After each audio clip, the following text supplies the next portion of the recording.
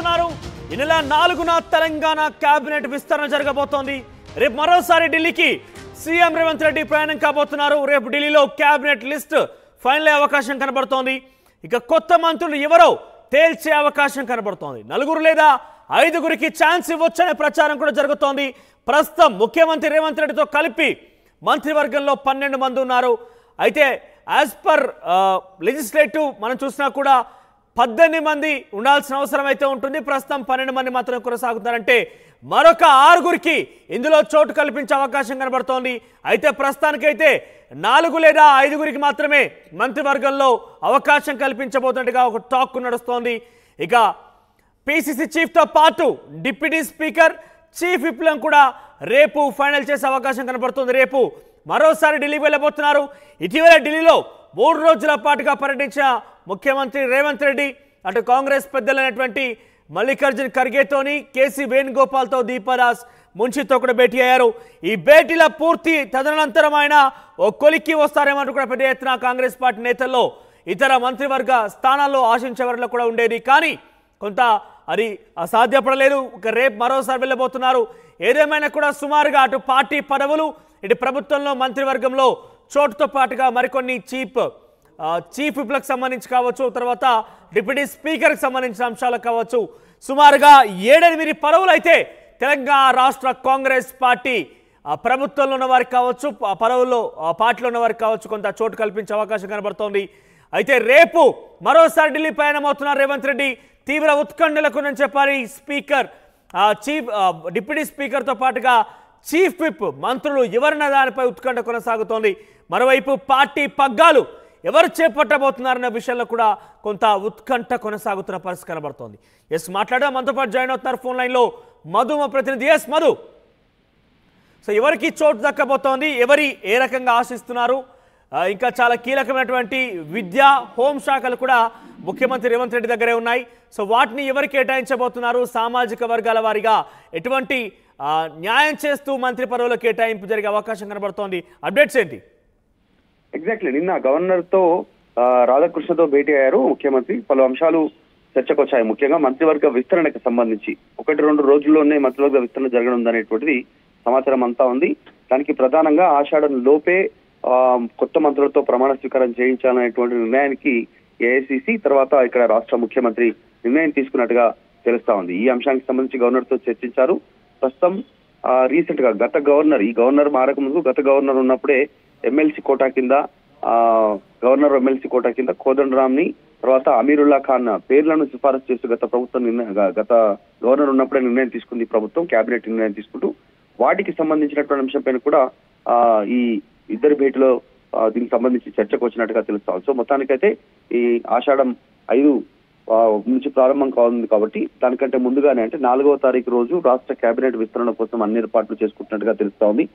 వారితో ప్రమాణ స్వీకారం చేయించడానికి అనుమతి కోరుతూ అలాగే దీనికి సంబంధించిన ఏర్పాట్లకు కూడా ముందే చెప్పాల్సినటువంటి అవసరం ఉంటుంది. గవర్నర్తో భేటీ అయ్యి ఈ అంశాలు చర్చించారు. పలు బిల్లులకు సంబంధించి కూడా చర్చించినప్పటికీ ప్రధాన ఎజెండా మాత్రం రాష్ట్ర కేబినెట్ విస్తరణకు సంబంధించినటువంటి అంశంపైనే సీఎం గవర్నర్తో భేటీ అయ్యి ఇన్ఫర్మేషన్ వారికి చేరవేశారు.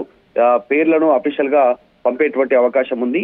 వెంటనే ఏ రోజైతే ప్రమాణ స్వీకారం ఉంటుందో అదే రోజు పేర్లను రివీల్ చేసేటువంటి అవకాశం ఉంటుంది. అప్పుడే వారికి సమాచారం ఇస్తారు. ఎవరు మంత్రివర్గంలోకి తీసుకోవాలనేటువంటిది. ఇప్పటికీ పన్నెండు మంత్రివర్గంలో ముఖ్యమంత్రితో కలిపి పన్నెండు మంది ఉన్నారు కాబట్టి ఇంకొక ఆరుగురికి అవకాశం ఉంటుంది. ఆ కేబినెట్ బెర్త్లో ఎవరికి అవకాశం ఇవ్వాలనేటువంటిది ఆ పేర్లతో సహా గవర్నర్కు రాష్ట్ర ప్రభుత్వం లేఖ పంపుతుంది. దానికి సంబంధించినటువంటి ఏర్పాట్లు చేస్తారు. దీంతో పాటు ఇప్పటికీ మనం చూస్తే రాష్ట్ర కేబినెట్కి సంబంధించి ఢిల్లీలో ఏఐసిసి నేతలు వరుసగా ముఖ్యమంత్రితో కానీ మంత్రి ఉత్తమ్ కుమార్ రెడ్డితో కానీ అలాగే బట్టి విక్రమార్కతో వీళ్ళంతా భేటీ అయ్యారు. కేసీ వేణుగోపాలు దీపదాస్ మున్షి సోనియా గాంధీ రాహుల్ గాంధీతో మల్లికార్జున ఖర్గేతో పలు దఫాలు. ఇప్పటికే రెండు దఫాలు వీళ్ళు భేటీ అయినటువంటి విషయం మనందరికీ తెలిసిందే. ఎందుకంటే ఐదు రోజుల పాటు ఢిల్లీలో ఉన్నటువంటి ముఖ్యమంత్రి తర్వాత కీలక మంత్రులంతా కూడా ఈ క్యాబినెట్ పైన తర్వాత పిసిసి మార్క్ పైన వరుసగా చర్చించారు. దాదాపు కొలిక్కొస్తా ఉంది. పిసిసి చీఫ్ మార్పు అలాగే ఆ, రాష్ట్ర మంత్రివర్గ విస్తరణకు సంబంధించి దాదాపు క్లారిటీ ఉన్నారు క్లారిటీతో ఈ రెండు ఒకే దఫాలో ఒకేసారి ఇన్ఫర్మేషన్ ఇచ్చే అవకాశం ఉంది రేపు ఏడు తారీఖుతో ముఖ్యమంత్రి పిసిసిగా ఉన్నారు Yes, కాబట్టి మధు. ఆయన పిసిసి పదవి కాలం రెండు మూడు. రోజుల క్రితం కూడా ఇటువంటి పర్యటన జరిగినప్పుడు ముఖ్యమంత్రి రేవంత్ రెడ్డితో పాటుగా డిప్యూటీ సీఎం ఇతరత్ర కీలక మంత్రులతో పాటు కొంతమంది సీనియర్ కాంగ్రెస్ పార్టీ నాయకులు కూడా వెళ్ళి కేసీ వేణుగోపాల్తో మల్లికార్జున ఖర్గేతో భేటీ అయ్యారు. సో రేపు వెళ్ళబేటువంటి పర్యటనలో ఎవరెవరు పాల్గొనే అవకాశం ఉంది? సో ఈ గతంలో వెళ్ళిన వారు తిరిగి మరోసారి వెళ్తారా? లేదంటే కేవలం ఎవరికైతే ఈ పదవులు వరించబోతున్నాయని ఒక ఇన్ఫర్మేషన్ తర్వాత వారిని మాత్రమే పిలిచే అవకాశం ఉందా?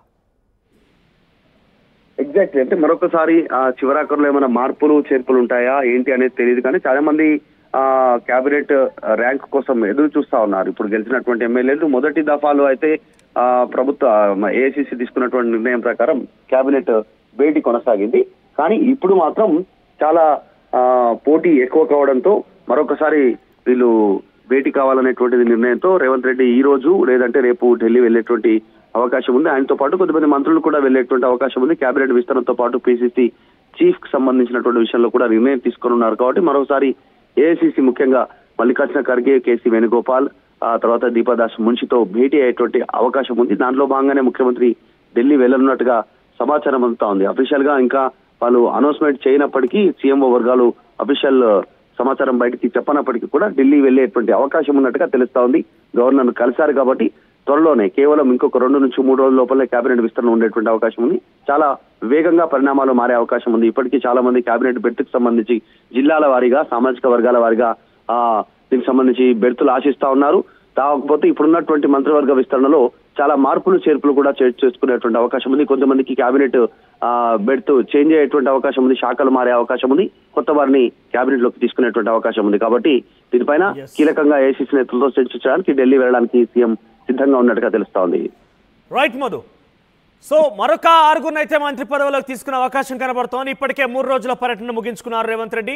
సో తెలంగాణకు వచ్చి సుమారుగా రెండు మూడు రోజులు కావస్తోంది. తిరిగి రేపు మళ్ళీ ఢిల్లీకి ప్రయాణం కాబోతున్నారు. రేపు ఢిల్లీలో మరోసారి అధిష్టానంతో చర్చ జరగబోతున్నారు ఒక చీఫ్ చీఫ్ విప్లతో పాటుగా డిప్యూటీ స్పీకర్ ఇతరత్ర మంత్రి పదవుల విషయంలో కూడా రేపు కొలిక్కి వచ్చే అవకాశం అయితే మంత్రివర్గ విషయంలో గతంలో ఇచ్చిన హామీ ఒకసారి కనుక గుర్తు చేసుకుంటే ఆ ముదిరాజ్ సామాజిక వర్గానికి తప్పకుండా మంత్రివర్గంలో చోటు కల్పిస్తామంటూ ముఖ్యమంత్రి మంత్రి హామీ ఇచ్చారు. దీంతో పాటుగా సామాజిక సమతుల్యత పాటిస్తూనే మంత్రివర్గంలోకి చోటు కల్పించే విధంగా మేము పాటుపడతామంటూ ముఖ్యమంత్రి మంత్రి హామీ ఇచ్చారు. సో ముదిరాజ్ సామాజిక వర్గంతో పాటుగా మరొక నాలుగు జిల్లాలో పూర్తి స్థాయిలో మంత్రివర్గంలో ప్రాతినిధ్యం లేదు హైదరాబాద్ ఉమ్మడి హైదరాబాద్ ఉమ్మడి రంగారెడ్డి ఉమ్మడి నిజామాబాద్ ఉమ్మడి ఆదిలాబాద్. ఈ నాలుగు జిల్లాలకు సంబంధించి మంత్రివర్గంలో ఎక్కడ కూడా చోటు కల్పించలేదు వాళ్ళ ప్రాతినిధ్యం లేదు. సో ఈ నేపథ్యంలో నాలుగు జిల్లాలతో పాటుగా ఇతర సామాజిక సమతుల్యత అనే విషయంలో ముదిరాజులతో పాటుగా మరే ఇతర సామాజిక వర్గాలకి ఏ రకంగా పాటిస్తారో చూడాల్సిన అవసరం అవుతుంది. ఇక్కడ చాలా క్లియర్గా అధిష్టానం నుంచి ఒక వినతి అధిష్టానం నుంచి ఒక ఆర్డర్ వచ్చినట్టు తెలుస్తోంది. ఏదేమైనా కూడా అది కొత్తగా పార్టీలో చేరినటువంటి వ్యక్తులకి అది ఎమ్మెల్యేలైనా మాజీ మంత్రులైనా ఇతరత్ర ఎవరైనా కూడా వారికి ఎట్టి పరిస్థితుల్లో కూడా మంత్రివర్గంలో చోటు కల్పించకూడదనేది అధిష్టానం నిర్ణయించినట్టు తెలుస్తోంది. ఇక రేపు ఢిల్లీ పర్యటనలో ఎటువంటి కీలక అంశాలు వెల్లడించే అవకాశం ఉంది.